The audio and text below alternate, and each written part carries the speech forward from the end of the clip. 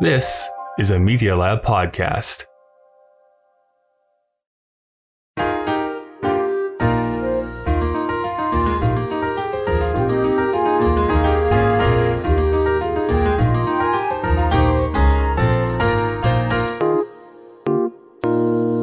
Welcome to Putting It Together, the podcast that goes through the entire body of work of Stephen Sondheim, show by show and song by song. My name is Kyle Marshall, your self described Sondheim expert.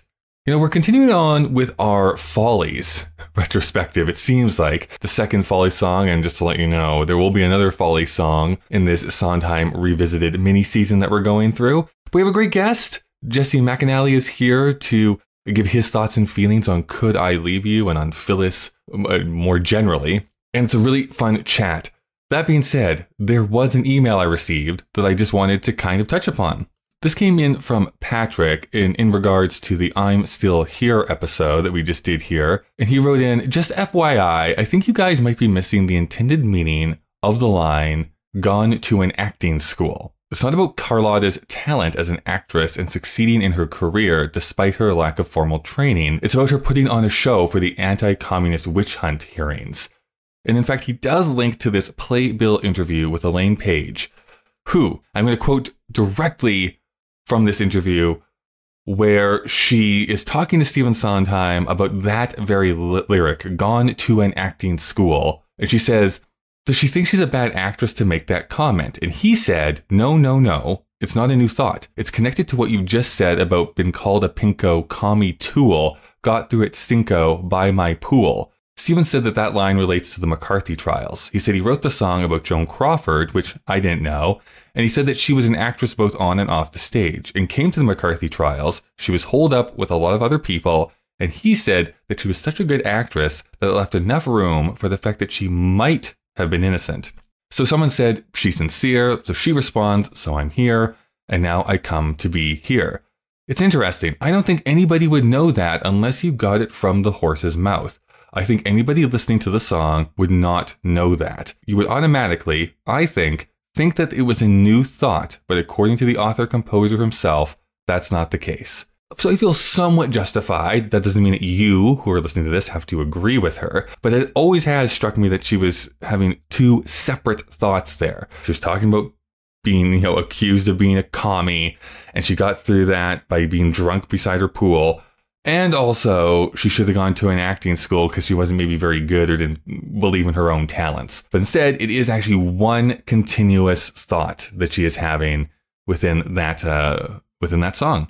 And that's coming right straight from Sondheim himself. So that is the interpretation that we are going to go with from now on. I love it when people send me in feedback. It always lets me feel like I'm getting to understand the song on an even deeper level every single time. I love hearing other people's interpretations of, of stuff. So if you have feedback on maybe even this week's episode, putting it together podcast at gmail.com. I guess we should just start the episode right now. Leave you, leave you. I leave you? How could I go it alone? Could I wave the years away with a quick goodbye? How do you wipe tears away when your eyes are dry? Sweetheart Jesse McAnally, thank you so much for joining me here today. Thank you for having me. I didn't tell you this before we started recording, but I will say you are one of the accounts that got retweeted into my timeline so often that I was like, well, I might as well just follow you because I get most of your tweets anyways. oh, well, I, I think that's a good thing. Um, that, that yeah. makes me very happy to hear. Um, I hope it's all a good things and not just like, oh, what's this nonsense? I'm gonna hate follow. What is happening? No, I think you're very high up in like what we'll call theater Twitter circles. Oh, that's very kind of you. So much so, you of course, I think, help co-host Musicals with Cheese, mm-hmm. the podcast. What uh, what's that all about? Um, so about four years ago, I think it's four years ago this year, I had the idea like, you know what, I want to force my friend Andrew to watch more musicals, and unless I make content out of my friendships, that's not a real friendship. So uh, we just decided to turn into a podcast where I legitimately just try to get him to like it more every episode, sometimes with more mm. success and sometimes with less. And now, four years later and nearly 200 episodes in, um, yeah, it's been good. We haven't missed a week yet. I'm very proud to say that since starting, we have not missed a single week of posting. a few questions about that. Yeah. Were there, what was the biggest surprise for you? Like the musical that, you know, either he hated or loved? It's like, oh, I was not expecting this type of reaction towards this. He had a vitriolic hatred towards the Lightning Thief, which is probably one of Oh, our m- most like episodes where we're obviously actually angry instead of pretending angry. And another one that I think that I was shocked by how much he enjoyed. This isn't an episode, this is just a Patreon commentary. I forced him to watch the Joseph and the Amazing Technicolor Dreamcoat movie, and he still claims that is one of the best things he's ever watched. So Wow. Okay. Huge Joseph Stan over here, apparently. yeah, um, we'll have to cover it on the show proper, but I, I don't want to ruin that joy that that innate joy he had watching it the first time. That's amazing. Is that so? Is that just the concert version, or is there a movie version that I'm just not There's aware a of? movie version with Donny Osmond and Yeah, okay, yeah. okay. I'm not sure that was a concert. I think that was because I remember Richard Attenborough was in it and he wore brown face, which always stands out to me in that movie. It's like, Yeah. Yeah, especially the person who makes Gandhi, you would think he would not decide to go down that route. But Ugh. interesting. I, weirdly enough, as a as a Canadian, Mm-hmm. that is the Joseph I know the most because Donny Osmond was in the Canadian cast recording Fair enough. of of Joseph and the Amazing Technicolor Dreamcoat. Now that that is a question I do have. Are you more f- fond of like Canadian cast recordings because they are kind of more your kind of actors and people you know? Like, do, do you like? Oh, the Toronto cast recording is what it's all about here. Uh, yes, yeah, no. Uh, if, if Gordon Pinsent is not on the cast album, then it is. I do not care for it. Is what I'm trying to say. No, there there actually isn't that many like Canadian cast recordings specifically. Like there, there's some that float around and some that you can do, but like as far as like official recordings, unless we're talking about original musicals that started in Canada and then transferred, there is not actually a lot of I found like Canadian recordings. Wasn't there that a get made. Phantom original cast, Yes. Canadian cast with Colm Wilkinson? There is a con- correct. Yes, Okay. there there is that one.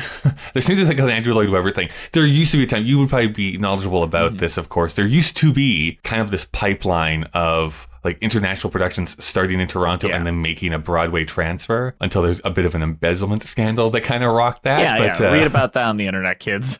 but uh, yeah, for a while there there was yeah more interest I would say Mm-hmm. in Canadian cast recordings of these bigger productions that were happening. I mean, I, I think we should bring it back, like, because often I do agree they are better. I really like the Jane Eyre Toronto cast recording. Mm. Like, I, I I'm like in a minority of people that absolutely love that musical. So I'd like to. I, I'm so glad that cast recording exists, so I don't have to listen to a pedophile when I listen to Jane Eyre. Sure. That is always a better choice. If I'm given the two options, I'm gonna listen to the Canadian, non-pedophile. the Canadian one without the pedophile. Oh, that all being said here, of course, like what uh, what do you think was your first moment where you fell in love with theater? See, I always, when I was younger, I was like, I want to be an actor. And what I meant was, I want to Mhm. have control over people and decide stories and do that. And I thought that's what, I thought the actors got to decide Right. what they said. And then I was in a lot of theater as a kid. And I then just kind of fell in love with that. Like, I was dancing to Sondheim songs when I was like four or five. I think I rem- still have footage of me dancing. To this song in particular? No, we're gonna be no, no, no, about? not this one. Not this one. If only I had a four-year-old. I that would be like that surreal moment in camp when Anna, baby Anna Kendrick, singing "The Ladies Who Lunch." I feel like it would give Yeah, that yeah, exact vibe. But no, it was "Together Wherever We Go" and all the those kind of songs that you could kind of Yeah, pull off for children. But I, I, I really fell in love with theater doing that, and I think I fell out of love for a while, and then re fell in love with it like when the Sondheim movies started coming out, at least the second Sure. generation, like the Sweeney Todds, the Into the Woods, and all that. You know, you just forced my mind to go into a spiral of thinking about what would it sound like to have a Kidz Bop album Broadway edition, and I'm sure that oh, exists Oh, it- out there somewhere. It does. The commercials were for it all the time, but I remember every time I would go to my godparents' house, they would just have that one CD like always on, hmm. and it they had the Jellicle Cat song, and all the kids are oh, arguing, boy. "What is a Jellicle Cat?" And that's just, it, it- that trails off, and I remember that specifically being the joke that no one knew what a Jellicle Cat was.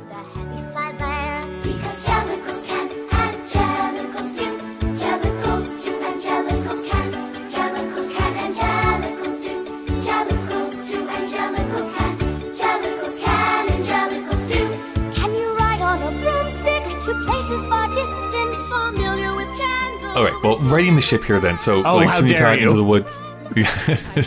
uh, I have been on record as saying on this show, I'm a bit of an apologist when it comes to the Sweeney Todd movie. Yes. I actually do think it's good. Mhm. Is it the best version of Sweeney Todd? No, but it's still a good version, I find. Now, I don't know what are your opinions on the Into the Woods because that is one that I actually do dislike actually quite quite a lot. I, I have varied opinions. I think the set design of that movie is incredible. Mm. I think Meryl Streep is horribly miscast, or like her performance was not in the way that I would see The Witch, and that might just be a Sure. me thing. However, if we take Meryl Streep out and James Corden didn't have the cultural impact outside of it, and then you do the Wicked thing and split into two movies, we got something that works. Like that's the only Sure. musical that I could justify splitting it into two halves. It actually is like perfectly made to be split into two halves in a weird way, right? It ends. It's like, oh, how is there going to be a sequel to this? Well, we're going to show you everything that bad happens after this, the after the happily ever after. Mhm. I, I will say too, yeah, I understand the impact that James Corden has on a lot of people. It's like the word moist now, or just people have some vitriol reaction to it. I thought it was a good baker, even though I don't like the movie that much. Like you can't say that he was miscast into that I role. I think most of the cast in that, aside from Mhm. Meryl Streep, is pretty good. Have you dove into? I'm sure you have the the unmade Jim Henson Disney Yes. version of Into the Woods. kills me that that never was realized. That is something. Even if it was a train wreck, at least it would be an interesting train wreck. I, think. I never want to. Cher as the witch. yes, yes. I never like to invite myself onto podcasts ever again. Mm-hmm. But if you ever do the demo, the I Wish demo that Sondheim wrote for that movie, I, I would love to Right. come on and just talk for Sure. hours. I have that. I have that one memorized, start to end, because it's just You were you were dancing to that at seven, actually. no, but I was amazed that it existed. Um, but I think the entire cast of the Into the Woods uh 2016 movie is good outside of Meryl Streep. I think they all do the work, Mhm. and I think Billy Magnussen is probably the most impressive to do a lot with a little. Sure. Yeah, yeah, yeah. The princes are good in that movie Yeah. too. But of course, we're not here to talk about Into the Woods. No. Specifically, we're here to talk about Follies. Yes. We're going back to Follies. When was your first introduction to Follies? So it's fairly recently. Um, so ever since I kind of knew that Sondheim wasn't going to put out another musical like in in my lifetime, I've been trying to pace myself to get through the rest of them. Like even Right. ones that I'm not like obsessed with, like the frogs, have a bit of genius in them. Um, so this was a fairly recent one that I literally just listened to and finally devoured for the podcast specifically. So I think it was just at the beginning of this year. Yeah, so it is kind of a new love for me, where I get to, it feels kind of newer for me, even though everyone else in the world is like, "What follies? Come on, you!" Everyone knows about that and how brilliant it is. But I every time I'm just shocked at the way it's constructed like the specific stagecraft of like having the older and younger versions at different times and reflecting each other like that is like one of the most brilliant pieces of staging i've ever seen it bums me out that this was like the big flop of sondheim's like early career like Sure. especially like with the Hal Prince collaborations because it is so impressive like what it's trying to do and what it succeeds in doing and i believe we brought up the fact that a movie is coming up in theory Maybe question mark. Yeah. I, I don't think that would be a very good. This is just a perfect theatrical thing. I can't imagine it working as a movie in any way whatsoever. You know, someone told me I keep going back and forth. I, I, I do agree. I think this is very clearly a theatrical piece of fiction Yes. that is really made to be a theatrical experience. That being said, do I want to see what a movie version looks like? Sure, I want to see that experience and see if that actually works. Someone uh, gave me the idea of a way to adapt it is still have it be a period piece. Yes. but because you're now in a film universe, have it be like old Busby Berkeley musical stars and stuff like that. Like make fit, fit it more into that idea Okay. of it being like film stars coming back and having one last hoorah or something like that, or a benefit concert or something like that. I don't know if that would work either. It's just like you're right though. It's I see. you- You're already having a hard sell on people doing like we're talking about the Ziegfeld Follies that nobody knows about anymore. I see that working in my head quite a bit. Um, and now that I'm imagining it, I feel like we're just too precious with musicals to film adaptations lately. Mhm. Um, if there's one thing I'll say that I really appreciate about the Tim Burton adaptation of Sweeney Todd is how unprecious with the source material it is. Sure. Um, we will never get another movie adaptation like Cabaret, and I don't even particularly love the Cabaret film, but it Hmm. did its own thing, and I I want another one of those. I agree. I I always tell people is like you can be upset that your favorite song doesn't make it Yeah. into uh, into a movie adaptation, but at the same time, yeah, movies work differently. Mm-hmm. you, do have to make cuts or make changes that serve that medium better, and sometimes that that just means it's like you know what. this can be m- much more well communicated in like a five or ten second close up than an entire song is going to be. So let's cut that and like focus on the main important stuff. I 100% agree with that. And you're a film guy. Like I I know I you are very much in the film world in a way that I am too. So when we talk about things like this like the structure of films and theater are just very different. Like an entire act 1 it has to be a complete story an entire act 2 kind There's of no intermission, so you don't get to hide behind that. So Yeah, there it, it just narratively it doesn't work. And it it goes the same way reverse. Like the Frozen musical is a mess because they do so many dramatic loop de loops to try to get Let It Go to be the act one closer, which narratively Yeah. it just does not support that. Yeah, exactly. Uh, Hollywood hire us to fix everything. Um, no, don't hire us. Like just pay us and we'll tell you what's wrong with it after it's done. Yeah, exactly. This is a complete aside, but it's only because I just watched this for the 1st Let's time. go. Have you seen the film The Boyfriend, the musical The Boyfriend from I have 1971? not. Okay. Do you are you even familiar with the musical The Boyfriend from like 1954? Nope, but I'm looking these things up and I'm Okay. so excited to learn new things. Let's go. Here is Ken Russell made a different Oh my yes. So this is this is how bonkers this is. Just a very brief aside here. I don't necessarily think this was a great adaptation either, but 1954. I forget who the lady was who wrote the music and lyrics to this show called The Boyfriend, which was supposed to be a send up of like a 1930s uh, Rodgers and Hart style musical.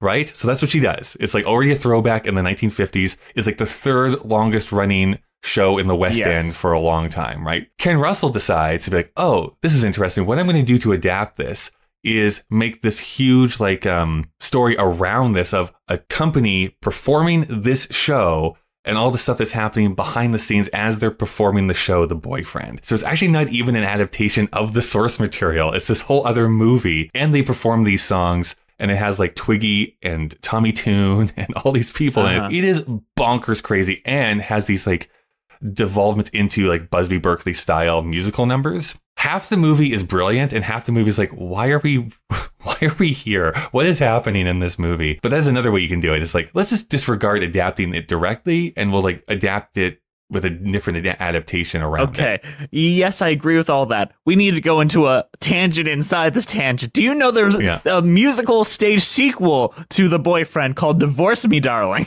Yeah, I heard that too. I was like, what is that? Oh yeah, and that's supposed to be a 1950s send up of something else. Yeah, it's I like Cole remember what it was. Porter's and Rodgers and Cole Hart Porter, yeah. mus- Um, and Sandy Wilson was the person that did all the music lyrics Yeah. and books. And literally, The Boyfriend, Divorce Me, Darling, and a 1979 stage version of Aladdin, which, Wow. what a trilogy that of things. But could I leave you? But could I leave you? Is what we're really asking here today. Could I leave you, the boyfriend? Divorce me, darling. Follies. I mean, You Yes. said that you you're developing a love for it. Like, I- how would you rate this then with other Sondheim shows? Like, where is this falling in your order? Here's the problem with me ranking my Sondheims. It's all about what I currently am kind of like obsessed with at the moment. I feel like and some days Passion is my number one, and some days Sweeney Mm. Todd's my number one. So it's up there, but all of them are up there. Like I think the only one that isn't up there is Evening Primrose. Although one of my favorite songs he wrote is "An Evening Primrose." Interestingly enough, but Okay, which one do you think is your favorite? uh, "Take Me to the World," I love that song. Whether it's a single or a duo, I think it works either way. Not necessarily within the the actual TV episode of Evening Primrose, which I was not the hugest fan of. Right. But other people have interpreted that song like, "Oh, this is actually very beautiful." All right, so I do have an official answer because on my show, the Dear Friends podcast, I we did a ranking of our Sondheim musicals, and I have it as number five, tied with Merrily as my like in my top five. Interesting. So Merrily and Follies are my number five. Then Sweeney, Into the Woods, Passion, and Sunday. Two shows about the ghosts of our past. Interesting. They both hit the same kind of weird nostalgia button for me. Um, nothing Mhm. makes me quite cry the way Merrily does, and nothing makes me quite look ahead. I feel. I, I also worry that I might be a little too young to really connect with Folly, so I'm like excited that as I get eight, aged and older, like I'm really gonna have that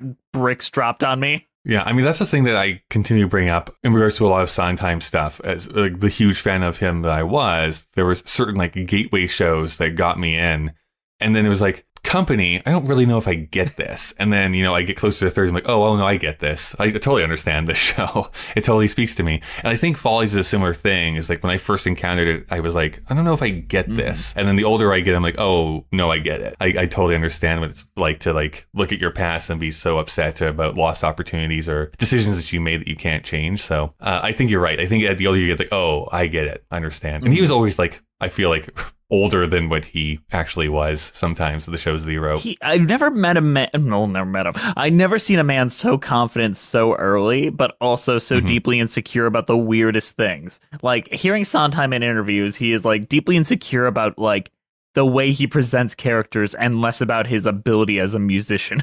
True, true. like there's the famous like I feel pretty issue where he's like, "Oh, Maria's off the boat. She wouldn't talk like that. Come on, I'm I'm just showing off and trying to do the flowery language they wanted me to do."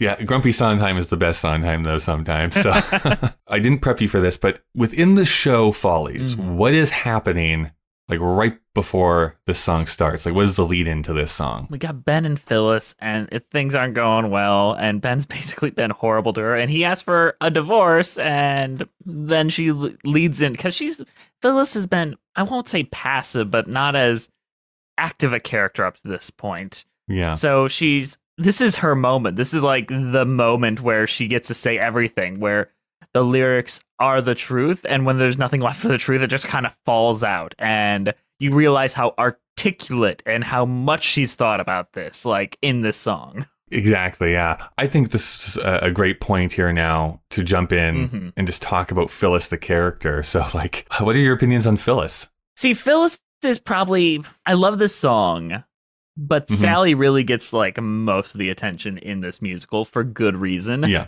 Um, but Phyllis is always the one I related to more, despite all that. I agree. Uh, she's Okay. uh this is going to be like a, a a a reference to Mary Tyler Moore Yeah, that no one knows about anymore, but uh, she has spunk. I like the spunk that uh, Phyllis has. yeah, but she's also emotionally abandoned and kind of.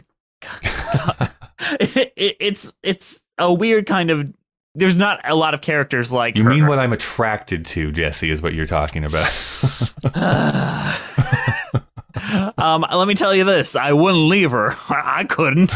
this is kind of though one one of the things I was Mhm. thinking about as I was preparing for this episode this the second time we're talking about this song Yeah. you know we have the famous losing my mind that Sally gets of her mental breakdown this isn't necessarily the like the breakdown because Phyllis also gets her own breakdown song but I think this is like the cracks starting to form of being like oh like this perfect image everyone is trying to do or this icy to me is like oh no Phyllis actually cares about stuff Yeah, and there was maybe a time that she did love Ben, but now it's like we're putting it all on the table and be like, you think you know me? You don't. You don't Mm-hmm. know who I am. Well, I got a question for you. How would you compare old Phyllis and young Phyllis? Because they feel like almost two distinctly different human beings to me. Yeah, I, I, I do agree. I think, I, I guess with the bits that we are given, this is like that one trajectory that people can go where it's like, I have wide eyed optimism. I am, Mm-hmm. I'm excited for the future. Um, you know, love is going to conquer all, even though there might be some red flags that are showing up in the relationship. And then after 30 years of having to put up with people's crap, you're just like, no, I'm, I'm kind of done with this. I've been, I've been turned into a basically an Elaine Stritch is what's, is what's happened. I mean, that's where we all are headed. Hey, if I can, in my like, in my like late 60s, just have like a dangling cigarette and have a raspy voice and just be like uh, bitchy to people, I'll say that's a win. But is this a bomb that starts the Loveland sequence, in your opinion? Like, is this like the final crack in the psyche, so to say? I think it is. Like I think that that's kind of basically my thesis here is like this is what the show wants to communicate here at least. Yeah. Is that even though there really isn't a main character necessarily, I think Ben is supposed to be this cipher for a lot of the show as we kind of wander through this party. This is him being confronted with like, oh, okay, I thought this facade was was right. She puts the first crack. Loveland happens. Everyone has their kind of emotional breakdowns, and they were brought back into the show proper, sort of thing. So I think that is Yeah. supposed. This is all, of course, metaphorically shown on stage, but I think that is what is supposed to be communicated. Um. Yeah. Okay. What do you think? I, I think all that too, but I also have there's a lot of things about Follies that bothers me narratively, not not in a Hmm. bother me as a negative. It's a bother me as in like m- my usual conception of narrative is like not following here. Like when I see flashbacks in movies, I'm always like, is this the truth or is this just what you want me to take away from this? So Sure. when you see all these flashbacks of all these individuals, I think the fact that they replicate the past so much and that they're not always rose colored also implies that it's the truth. But what do you think? Like, do you think it's well, all this is the, that's a hard part about follies, and I think Yes. why it, you can talk about forever, which is that you're dealing with essentially four unreliable narrators. They're, right? They're they're all trying to put a bit of a spin on their feelings and what has Mhm. happened in the past. And I don't know if you can necessarily ever say like this is objectively what has happened. Um, you can maybe get glimpses of that, or being like, mm, I think maybe you're overstating this, which is interesting. What a movie might be able to communicate, maybe even more effectively which is like Yeah. this is what they're saying versus actually what actually happened. So that it makes it very clear as like everyone has their point of view on these events Right. that have happened. Anyways, I don't know. That that's my my read on this. I Mm-hmm. think this is why I think it was not as embraced even in its first run. Yeah, Which is that you are you this is gonna sound much more like negative than I mean it to be.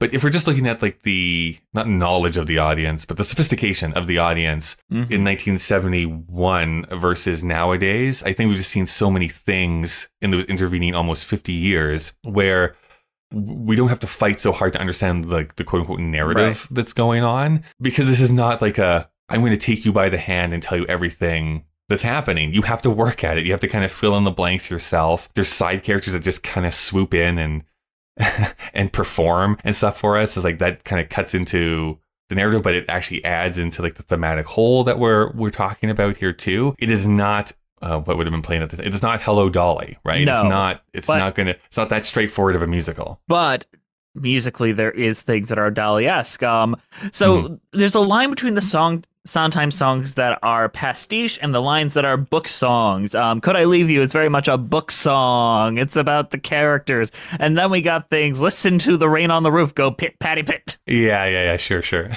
um, but strangely, if you think about it, um, those numbers, the the pastiche songs, are the ones in the show that people remember for Perform the most of its life. Like Mhm. Broadway Baby, um, Rain on the Roof, all those kind of things um, are very, very commonly I performed. mean, Paddington 2 will forever have Rain on the Roof be emblazoned on people's minds. So, Exactly. And Beautiful Girls in and of itself. Um, Mhm. just a great number, but also very pastiche. So I recently saw Bernadette Peters live and her performing in Buddy's Eyes. This is just a tangent. We don't. I'm- you brought me on. I'm gonna bring the tangents. sure. Um, and I just wanted to say that right when she gets to the end and she's holding out before she says the last in Buddy's eyes, someone's phone went off. And honestly, I could Oh see the anger in her face. It, um, ten out She of didn't ten. go full Patti LuPone on them, unfortunately. no, no, no. Bernadette Peters has class. She was in Ohio. She wasn't gonna fight no one in Ohio. It kills me. I had tickets to see Bernadette Peters years ago, and she Yeah. had to cancel like the week before, so I never got to see her. I'm so sorry. I have I had had this quick trip planned to, to a cabin to spend with friends this past weekend, and I get an email four days before I'm supposed to leave. Like, hey, did you know Bernadette Peters is coming? Like, no, I didn't know she was coming. Why didn't no one tell me she was coming to my city? The day I was leaving, I'm like, you are killing me that she is here in my city, and I can't and I can't go and see her because I have non-refundable tickets Oh to go to this thing. That just broke my Uh, heart for you. Um, I'm I will there's say one more time that she comes so I can see her in person. she still got it. She can still roll around on that piano like she's 21 and it still works. Oh, I Um, love it. Okay. I'd like to see Elaine Stritch pull that off right now today. I don't think she can Uh, do it. you told me about this uh, performance that Ariana DeBose did. Oh, I, yes, I think I it's at 54 below. Yes, it looks like 54 below. Oscar winner Ariana DeBose, well before when she was still ensemble member Ariana DeBose. I know it's like person who is in uh, Hamilton for 30 seconds that you can see on Disney Plus. I was gonna say it's almost too bad. Like she's been having quite a year. Oscar Yes. winner now. Was she just cast in? Oh yeah, in Schmigadoon. She's in Kraven the Hunter. Oh yeah, got hired into like a Marvel film here recently. She will have hosted the Tonys by the time this episode comes Hosted out, probably like a month ago. Hosted SNL, yeah. So she's she's definitely having a big moment here this year. Good, great. I think she's a, ph phenomenal performer. So she'll get that EGOT before before before the, the day is out. Thank goodness.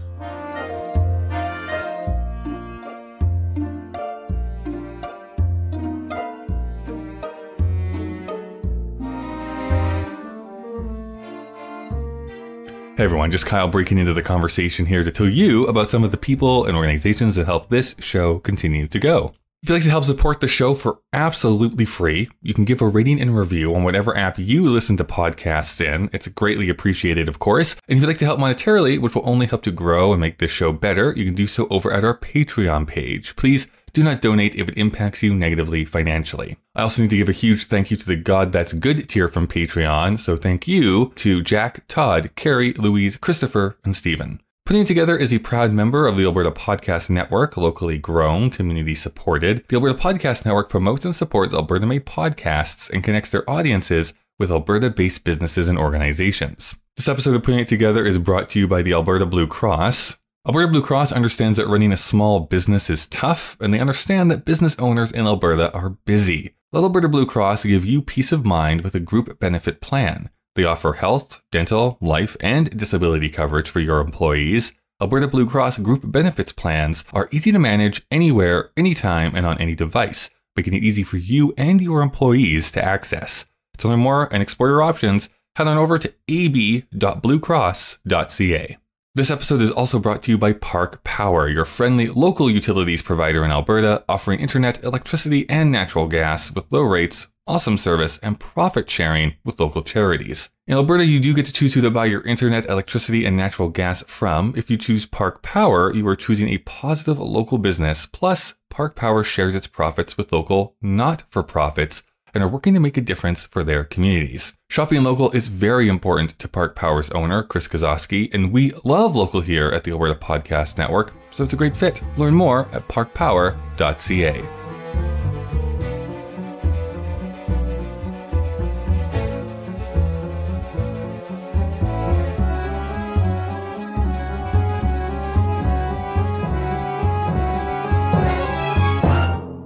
I have uh, broken this out into different bits here. So let's listen to the opening bit of Could I Leave You as sung by Ariana DeBose.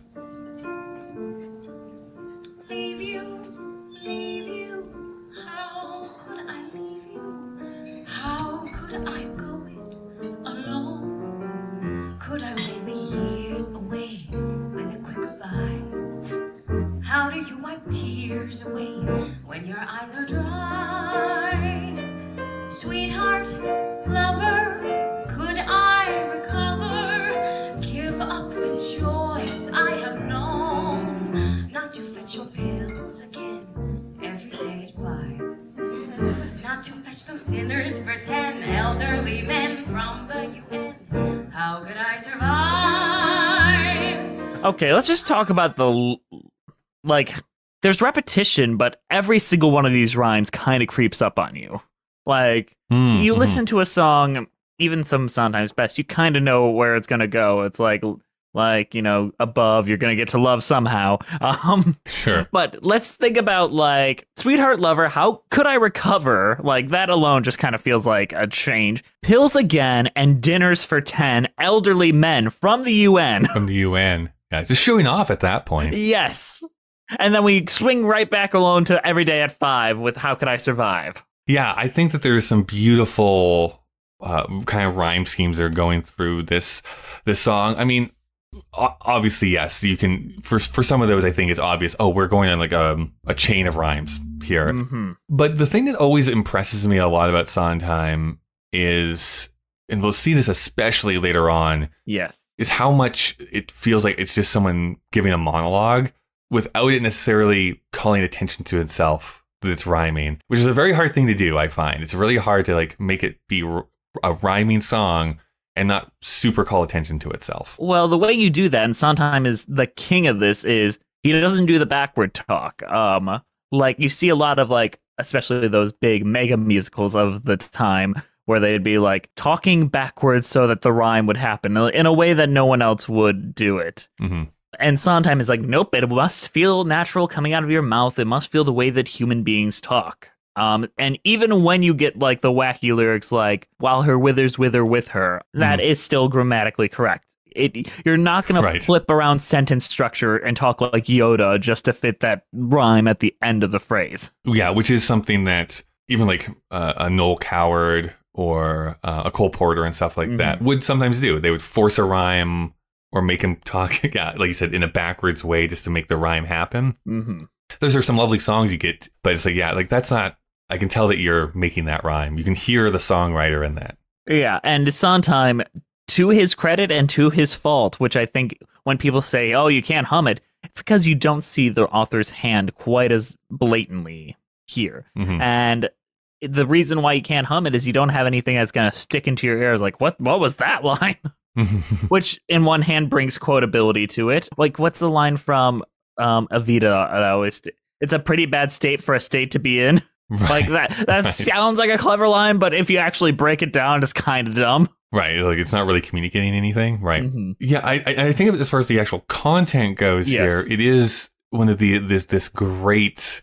I mean, I know Sondheim often talked about like how he was not a dramatist, but it's Yeah. it's amazing how he can sometimes just fill in this world of a character through lyrics and be like, oh no, I totally get what this relationship must be like, at least from Phyllis's point of view, where it's like, can I leave you? You mean like give up all these boring parties I have to go to and these uh, dreadful people I have to make appearances with and give you your pills and like Mhm. watch you blather away? It's like, okay, yeah, no, I get it. like you're fed up right now. There's that old quote for him that I I know best from like the the the sick or the Sondheim on Sondheim album where he's like, if you ask me to write a love song, I don't know what to do. hmm But if you tell me this girl orders a grasshopper at a bar after just being dumped, I have the bar to work with, I have the drink to work with, I have all these things. And I think Yeah, this yeah. song shows that to most. He's like, I can't just write a breakup song. I need to know what she's been through, what is going on. I need to know all these things. So he can paint this picture of what her relationship looks like. So without him being like describing his life or either of them doing it, it's her yelling at him about what she's been through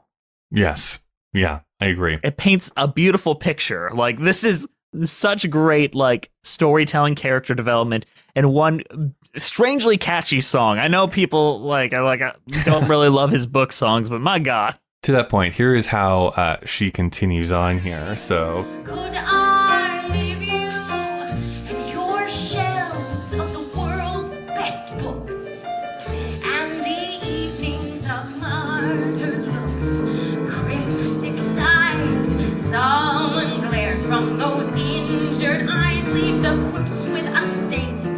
jokes with a sneer, and passionless love making once a year leave the lies ill concealed, and the wounds never healed, and the game's not worth winning. And wait, I am just beginning. What? she's just beginning here. So, never has anyone said passionless love-making once a year with quite so much venom, I don't think. Uh, yeah, Ariana DeBose brings a lot of a lot more anger to this instead of the heartbreak. A lot of folks bring the heartbreak. I think Diana Rigg really does a great Mm. job at bringing the heartbreak. Ariana DeBose is vicious and beautifully vicious in this. I wish I revival. Come on, we we know who our Phyllis is here. I would love to see a huge, big production of, of Follies here one last time, Yes. uh, or one more time, I should Come say. on, I mean, what we're, is the we're reviving all the other Sondheim stuff here recently, so why not? But then it's the forbidden Broadway sketch of like, we're doing follies. We got it right this time. I promise. We swear. It's so it's so true. It's- but this time it's gonna work. It's like anytime, I, and I I've, I've heard the good things from London about uh, anyone can whistle and everything, but that's what it always is. But this time it's gonna work. I'm like, it's not, but st- sure, let's let's watch it. The only time I ever believed it was Nathan Lane and the Frogs. Like, this time we're going to make it work. Come on, Stephen. Okay, this time real frogs. Okay, real frogs. we're not going to do it in a swimming pool this time, all right? Once again, just the lyrics. Like, always, a, like, one of the things that I love and you, things about Sondheim you don't realize you love until you're looking at the lyrics is how often, even the rhymes, they are not spelled the same way. Like, what is it? S- Martyred looks, cryptic sighs, song glares from the injured eyes. Um, sighs, eyes. It's different ways of spelling and getting to the rhyme. Um, Mhm. I feel like most sneer and ear. Yeah. yeah. They don't do the double E or the all that um the same way. And I see a lot of composers like eyes, dies, just put a D there. like Right, right, right. even very good composers do that stuff where I'm like, uh, uh, stretch yourself a bit. Uh, yeah, there was a. I think you just brought it up here a moment ago, but I remember listening to this talk from a a, songwriter once. It was like it's it's unfortunate that it's like as soon as you hear anything that ends in of, it's like well Yeah. they're gonna say love here later on in the song. So it's like you're almost calling attention to yourself. It's you have to think of different ways to communicate this without being so obvious. The thing that I actually noticed this time, we looking mm-hmm. at this song is that even though she is like just like kind of starting it up to be very pissed off by the end of this song, there is this interesting portion within here that I think there is still a bit of a love for Ben that that mm. is kind of creeping through because she even calls it out. It's like I can't keep up with the yes those cryptic sighs, but sullen glares from those injured eyes. It's Yes. not you know cold calculated eyes or those menacing eyes. No, it's injured. He she's admitting to the fact that he himself is is an injured person or or a sad person. and I think like that paints it. Uh, She's not victimizing herself either, which is another interesting thing. Like, I, it would have been so easy to be like, "You're a terrible, horrible husband," when this is much more real, much darker, much more like we. There's nothing there between us now. It's a, a much more honest portrayal of people who are together in their marriage for convenience at this point. Right, right, right. Do you know about the world's best books by any chance? No, tell me about the world's best books. Well, this is me trying to remember this from memory here now, but it always made when I was reading these lyrics the first time, like Right. uh, whatever that was, a couple years ago. It's interesting because it's capitalized. World's Yes. best books. And it's like, well, that's can't be a mistake, but it was a series. It's kind of like I don't know, like Reader's Digest classics or something like that. It's books that were made you look smarter than you really were, but you probably have never read them in your entire life. Yes, okay. That that makes Which is, sense. again, a okay. nice- a nice little dig to uh to him. I'd be very interested to like throw a first rhyme at this, like because uh, every Yeah. there's no like internal rhymes here. There's all they're all at the end. I want to throw someone like, all right, rhyme ill concealed with something and give me a making sentence. Like, give them lethal eyes ill concealed. Figure out what it's gonna go. Where where do you think they would rhyme? Do you think wounds never healed would come right away? Not not right away. No, you'd have to go through a few. I think it would be like um, People would definitely jump to congealed somehow. my feelings staying congealed or something like that. Yeah. It's like when people like get to soar and they're like, um, what do I rhyme? Down to my core. I swear, if I ever have to hear down to my core in a musical ever again, I, I I'm Or it's like it's like people seem to be like contractually obligated to to rhyme life with strife. It's like, can we think of another thing that we can rhyme those two words with? like a knife is not that hard a line to get to, guys.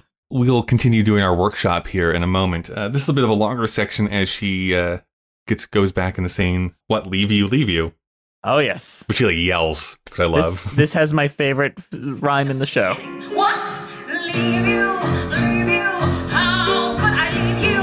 What would I do on my own? Putting thoughts of you aside in the south of France. Would I think of suicide? Oh, darling, shall we dance? Could I live through the pain on a terrace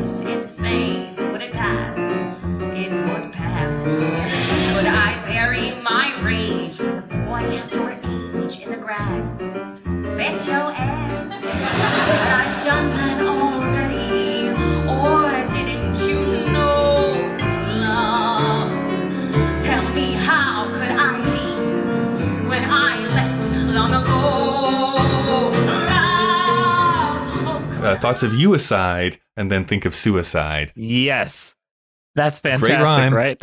It's one of those rhymes that sneaks up on you. It, uh, this song is like the best of like, all right, how we got to get to the end of it because we set up the rhyming convention so quickly. So as soon as you get to something like how how we getting there, putting Yeah, thoughts yeah, of yeah. you aside, and sometimes um, an actor can kind of hedge a rhyme to make it sound like more like the word. But if you just say it naturally and then you get there, like my gosh, that that is like peak dopamine rush of pl- pleasure. Like like yes, yes, thank you. Galaxy brain explosion type of thing. Yeah. Like I I've seen some a- performers go like, putting thoughts of you aside, where they really Mhm. get that, so they the second one hit. Um, what I love about this one here too, I mean, Mhm. it, it's obvious that Ben has been sleeping around with Yes. with other women inside their marriage. But I like her admissions, like, "Hey, you don't think I've been doing the same thing? You don't think. I can pull people? Look at me, I'm Phyllis. Look how hot I am." And it's just a throwaway Which is line. why I just have to say why I think I love Bernadette Peters to death. Why she should have been Phyllis and not Sally in the show. I agree. I, I, I, I, but how else are you gonna get Bernadette to sing "Losing My Mind"? We we gotta get there. But the bet yo ass, Ariana DeBose of it all, like the choices there is incredible. I want to go through the pain in a terrace in Spain so it would pass. Like that sounds like an ideal situation. But the thing is, a lot of characters, a lot of easy ways of a put upon wife character in a movie or a musical would be like, oh, he's cheating on me and I just sit at home. She's like, no, I did my thing. Like, come on. Like, that's not the problem here. We know what's going We're, we're all adults here. Right. Yeah, yeah. Avoiding very easy, easy cliches here. Uh, of, of course, I think the the biggest dig here too is like there is the the I guess in any type of breakup, there's the two times you leave someone when you've Yeah. emotionally left them and we physically left them. And she's admitting like, hey, I checked out of this relationship years ago. Like, I've already left. I You're just nothing physically special. left you. Other people are meeting my needs the the way that I want them to be met, sort of thing. Uh, you you provide money, basically. I think is what the subtext is here, Yeah. So, uh, and which which he gets to here in a minute. In a minute. it's just so mean to show a guy or anyone that you mean nothing to me aside from what you financially benefit to me. Sure, sure. This is how, of course, we uh, continue on here. Yes. So, Oh, could I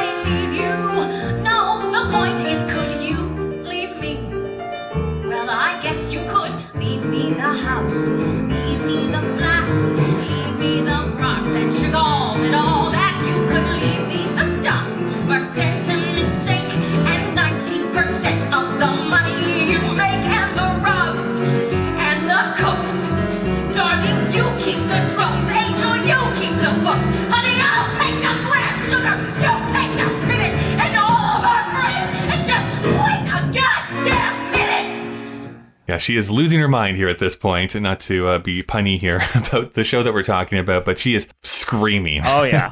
at, at the end of this. Emotionally she is just drained. Like she's just Mhm. it, I mean, this is where it becomes less of a song and more of a rant.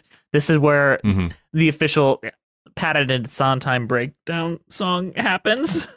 Where Sure, sure. it becomes closer to Epiphany or Rose's turn than it does to like Stay With Me. Yeah, Um but yeah, this is like that that great a- uh, actor piece too, right? Like you can really act into this song, which I think the best musical theater does. You, you know, you hope you have a great singer who can actually act, but I I think it just goes a good way if you have a have a great actor there too, who can really sell this moment and be like, oh, she is upset by this. She's like, sure, you you're telling me that you're gonna like get a divorce or whatever thing, but like kind of screw you. I, I I can be out here like today if you really want to, but I know that you need me more than I need you. yeah. Have you not to go on a tangent, but have you looked at like Chagall's and Braque's I did. I think I, I did originally, and just to take a look at what they looked like. But is there anything specific? No, it's just I'm trying to imagine what their house looks like now. Oh, gotcha. Very austere, very rich. Yeah, very, very, but they're kind of like they. No, uh, big respect, but they kind of look a little infantile, a little bit. Sure. Like Mhm. the faces, especially, kind of. I don't know. It feels very distinct, especially the the the Chagall's. Yeah, I've yeah. I, I don't know enough about art to, to make any specific opinion, but I think I seem to recall something like that, which is again, if you want to be mean about it, like the, the, those are the types of paintings people buy that don't know a lot about art and want to seem sophisticated, rather than like other things that you could potentially buy. Like, it looks like Chagall's big on like the the the loop arm as opposed to like the bendy Mhm. arm, where it's like you're Sure. just gonna draw you, and that is your bent arm.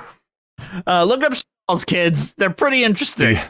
What- What's the best thing to do is to talk about visual art in an audio medium. I mean, I mean, describing it and then being like, you know what, he did a good job with uh, describing that vocally, like ten out of ten. That's right. That's right. Right. The loopy arm. Love the loopy arm. My favorite rhyme is probably from this, which is going like, you keep the spinet and then Yes. wait a goddamn minute. I love that when it comes Well, uh, unless full you're- circle. Unless you're Kathie Lee, then it's wait a fucking minute. That's right. So you, I think, have a story about that. Like, what what made her decide to change that lyric? Because was Sondheim alerted about that? Did he know she was going to change it? yes, Kathie Lee is a devout Christian and did not want to say the Lord's name in vain. And Right. she brought this up to Sondheim, and he was, I think she was like a replacement for the Right. revival. And he was like, well, let's do this alternative. She's like, that works. So she no longer says the Lord's name in vain, but she definitely says, wait a fucking minute. Yeah, I've seen the videos of that, and like, I, th- I think it's weird too. I am of a certain age where I still Mhm. remember Regis and Kathie Lee in the mornings. So to hear her like drop an f bomb was like, whoa, oh, I was not expecting Kathie Lee to do that. She did a good job too, like a surprisingly Mm-hmm. good job because like it was Kathie Lee, and then he was she was replaced with Kelly Ripa. So all the Regis co-hosts actually had a tu- a turn to be in the show. Okay, what did Kelly play Phyllis before? Oh, sorry, I thought that's what you meant. That's No, no, honestly what. I thought you meant. Okay, no, no. She, you were saying that she was replaced on the on, Yeah, on yeah, yeah. show. You're, you're right. You're correct. I know, but now I want to see the Regis cinematic universe of Sondheim. yeah, now Kelly Ripa does need to be in a musical. Yeah, have you? Okay, not for nothing. Have you seen the video of Regis dressing up as Shrek from Shrek the Musical? I have, yeah. Which is w- weird because he under makeup does kind of look like Brian d'Arcy James in a weird way. So it's like, Doesn't quite have the eyebrows to fill it. no, that that, that should have been the replacement Shrek was Regis Philbin. I, I can't. I can't even do an. Imp- I guess I'd be a hero with sword and armor clashing. I can't do voices. The thing with Regis is that you have to like start like slow and then get really fast. So it's like I went to a barber shop the other day, and like that's how he that's how he I went to a barber like, shop the other day because Yeah, he's very yes. big when he gets to the end. I know he gets he starts off and it gets really big by the end of the. So yeah, I I just want to say like I'm so glad that you called out this Ariana DeBose performance because it's really I love this portion of it specifically because she just goes for it. Now, would this Yeah. be sustainable eight shows a week? That I don't know, but for a one-off performance, I think it works really really well. Well, I this this role specifically is um, a little different than other ones in, especially on Broadway. They're off stage for like many songs at a time, and it's hard. Like from what I hear from most actors playing it, it's hard to stay into that and remember where you are emotionally due to that. Oh Um, sure, There's this great interview with Jan Maxwell about it, where she's like describing the song and talking about all of her connections with it. And she's like, uh, for like 20, 30 minutes at a time, I'm just off stage. And then I have to come back and still be in the heated argument I started uh, 20 minutes ago and try to remember where that was. sure. So I, No, I I think this is fairly sustainable. Um, I mean, if anyone can do it, Ariana DeBose. I think that woman is a human muscle. You've seen her at the Skivvies performance, right? No, I don't know if I have actually. What did she do? Um. Either way, she just wore something in nice, and I was like, "Oh my god, that woman is just all muscle. She is like Oh, I see what you're saying. Gotcha. Yeah, yeah. yeah. extremely strong as a human being. She could Mhm, bench mhm. me if she wanted." Oh, she could break me in half. Yes, very easily. Uh, here's how our song ends here, though. Leave you, leave you.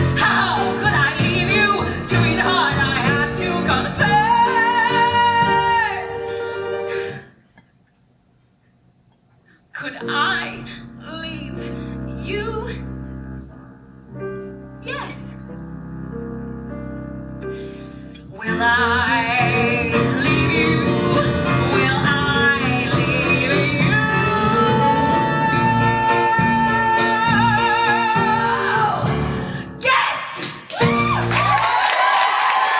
the the time that they used your lyric prediction prediction against you, like we set it up with um, confess, yes, and then what's she gonna say? Yes. Ah. Yes. Yeah, that's that's what I mean. Like that that I think the beauty of this song specifically is that I think it almost tricks you into thinking, "Oh, I know exactly what she's going to say at the end." And then he doesn't say it. And also another bit of a interesting twisting of the knife because it's like, who is the real Yeah. idiot in this relationship? It's me because I'm going to stick around when I should have actually left you a long time ago. Right. And just the fact that it has a punchline. I love it when songs have a little punchline. like they they build up and build up and you get a release at the end. Yeah. And it's so Yeah. many different interpretations of the way people give guests. Like I love Ariana's interpretation. I love like so many different types of ways to go about it. Um, have you ever heard Sondheim's demo of this? I'm sure I actually have at some point, but was there something specific? Um, just the fact that he puts no emotion into it, and he's usually like all Right. emotion, but here he's like, "Could I leave you?" No, the point is, could you leave me? Uh, he the way he does, like, because he starts Yeah, right, right, very right. big on each line. Could I leave you?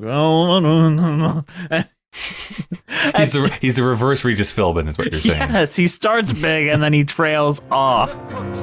Darling, you keep the drugs, angel, you keep the books, honey, I'll take the bread, sugar, you keep the spinet, and all of our friends, and just wait a goddamn minute, what leave you, leave you, how could I leave you, sweetheart, I have to confess, could I leave you, yes, will I leave you, will I leave you, yes.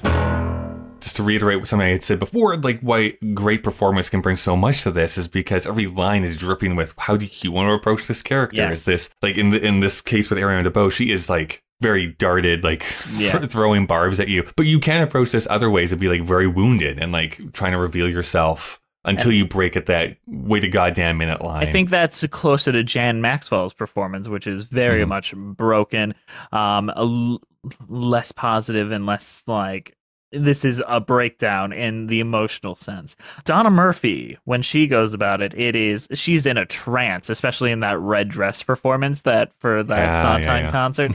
Fantastic job there. Ariana DeBose, when she says, "Could I leave you?" I should just say, sorry to interrupt you. Yes. I just want to say, when I die, and if there is a heaven, those are the five ladies I want to be me as I get to the pearly gates. Are those five women in dresses? Yeah, uh, well, don't forget Elaine and her like little Yeah. red.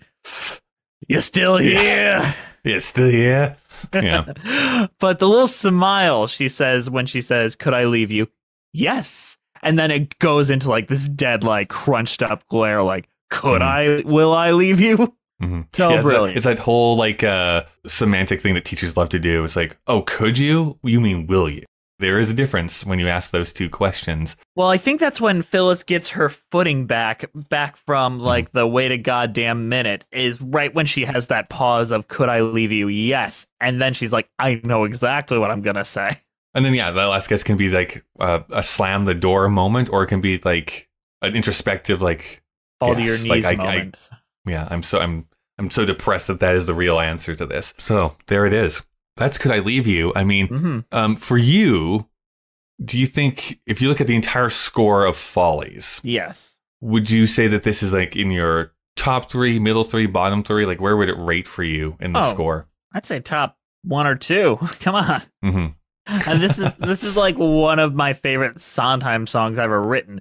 Um, I don't revisit Follies a ton, but I revisit this song so much. I th- like it, anytime I'm like bored, I just have a playlist of like different variations of this. I'm like everyone, everyone is a knockout. Anyone, even people that can't sing perfectly, even just students when they sing this song. There's just so much to work with narratively. sure it's so surprising too of like how close there it was to having Yeah. no Follies album recorded from the original cast, at least, Oh which would have been kind of a bit of a travesty, I think, in many in many ways. So I'm glad it existed, and glad that there was that '85, I think, hmm concert or Yeah, the Mandy one night one. only. That's right. Where he goes absolutely bonkers on stage. Yes. Because of course he does. Um, he's Mandy Patinkin. hmm Um, what about you? Where does this rank in your Follies rankings? I think I'm right there actually with you in this case. It's probably top three for me. I'm trying to uh, very quickly flip through. I uh, weirdly enough, the the the one song in the score that I know I rate way higher than most people is the Loveland sequence. I love the Loveland sequence. It's great. So I usually rate that way higher than most people. But the, it, it's this, and there is um, I'm, uh, like I'm still here. Of course, is is in this Mm-hmm. score. I love Beautiful Girls. The way that the whole show starts. Like there's a lot of good bangers inside of the show. There's very few that I would say like are bad No. uh, or I would rate bad. The only ones that would be in like the bottom three are like those yeah like more inc- inconsequential ones like the uh, I shouldn't say inconsequential just ones I Yeah. Don't revisit a lot like the uh, the old like operetta operetta performance which uh, I've gotten a little bit more love for the more I've listened to different versions but it's like still not my favorite thing to listen to. you know what I think? Like the only one that gives this one a little bit of competition for me is waiting for the girls upstairs. That is such a brilliant theatrical tool and Mm. Great, storytelling tool. Like every time I'm, at, Perfect musical theater moment, yeah. yeah, I it, ever, even in shows I don't love by Sondheim, there is one moment that just drops my jaw to the floor. That I'm like, how did you do that? Um, like Yeah. Pacific Overtures. I, that show has a lot of fans. Um, I understand Mm-hmm. it, uh, but it doesn't strike with me. But someone in a tree almost makes me great. cry every time I listen to it. Yeah, that's perfect. Well, Jesse, if people wanted to see more of what you're up to, uh, Oh. how can they do so easily online? Well, if you just type in Jesse McNally in Google, um, a nice picture will be will pop up, and like you'll get my website, you'll get our BPN. Um, but make sure you spell it correctly. It's spelled McAnally. Um, just so you know. Um, I I know what it looks like. Uh, It's McAnally. Um, also you of can the, find the me. West Coast McCanalese, or is that a different? And my co-host on Musicals with Cheese, um, Andrew, he was always like, "It sounds like a DJ name, MC Anal." Oh my god. Um, but find me on Musicals with cheese. They're very particular on their setups. Yeah. Hell yeah. Um, and the Dear Friends podcast, both on the Broadway Podcast Network. I'm also on Once More with Dragons there with um, musical theater mash, Tommy from that, Emily Clark, and Yes. Yeah. Yeah. they're all very good human beings. Um, Dear Friends, I also do with Emily Clark and um, Christy Esterly, um, or the diva from musical Hell, if we're going to use our pretend names. um, well, that's perfect. Yeah. it's so you- much fun. uh, last last question that uh, I should ask here, which I just realized I forgot to ask my other guests I'm doing in this special mini season. but regardless, um, is there a Sondheim show that you have not seen a live production of that you hope you can at some point? Huh. I want to see anyone could whistle like properly. Mhm. I want to sit down and watch that. And Passionate at the moment is like one of my favorite Sondheim musicals. It's probably one or 2 Um, I would love to see a proper production of that. I, I think that is the most beautiful pro shot ever done. Is the Donna Murphy one shot on proper Right. 35 mil film, beautiful Right. looking movie. But I'd love to see that live. Um, those two, and maybe one day someone will get Bounce to, or Road Show to work. I'd like to see time that. we're gonna make it work. Real frogs. Or what is it? What is the Square One? Like the one that he's doing? Union Square or whatever it's called. The- yeah, I the one remember. that'll Or never come out one, I now? think. I know. I feel so bad about that, but I, th- I here's my bold proclamation. There's going to be a concert version of that at some point. They're going to get together a bunch of big they only stars. finished the first act. Yeah, they'll do the first act. They'll sing the first act, and they'll do a charity benefit thing. I would actually be interested if they just finish the second act with like Sondheim proteges that are actively working. You get the Adam Guettels, you get the Jason Robert Browns, you get the Lin Manuel Mhm. Miranda's in there. They each do a song, and then we just kind of round out what they were gonna do, like with with his legacy. Like yeah, I think I do think that's probably the best way to do it. It's like, hey, first act original Sondheim material, and then second half is a different thing. Have you read the putting it together? I know, I, I know, I know James Lapine stole the title of your podcast there um, with his book. I Have kind of you read stole that it from book them, though? but yes, uh, it is on my shelf, ready to read. I have not made the time to read it yet. It baff. Uh, if you listen to the audiobook, great, great read there. Len Cariou is a great Sondheim impersonation impersonation there. Um, the thing is, he is a chronic procrastinator and literally would not get anything done if James Pine was like, "All right, we're staging this in two weeks. Let's go." That youthful energy. So he needed someone young to work with him to get that thing done. Someone bright eyed. Yeah, just move this along. Yeah. I mean, imagine if you walk into Sondheim's house and he's like, "You want to join? Come on, let's smoke weed and look at some stuff." I would have smoked weed with Sondheim in a New York minute. uh, all right, thanks, Jesse. Thank you so much.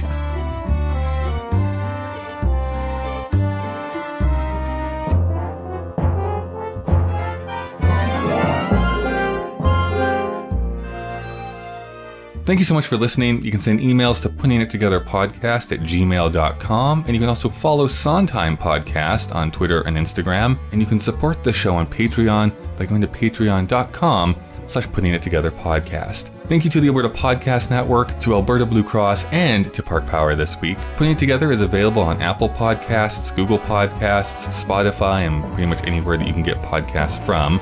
Consider subscribing so that you never miss an episode. Next week, if Momma was married, we're going way back in time into the Sondheim canon, and I'm gladly going to give it away. As always, a big thank you to the great Chris Taniguchi who designed the podcast artwork, and Nick Driscoll for composing our theme music. Well, we've reached the end of our episode. Yes, I know. Goodbye for now.